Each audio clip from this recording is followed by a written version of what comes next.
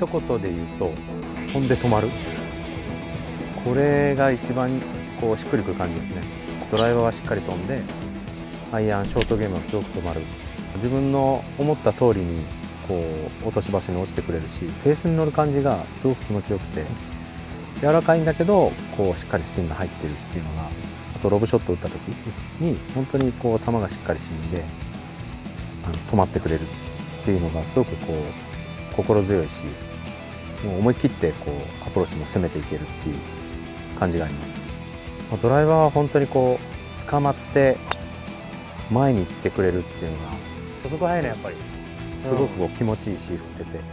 で横風にも強いし今までよりも距離がやっぱり伸びててもうなんか打つのが楽しいですね、はい、逆に他の選手にお勧めしたくないぐらいあのいいボールですね。自分だけ使いたいっていうぐらいの それぐらいの感じがあります、はい、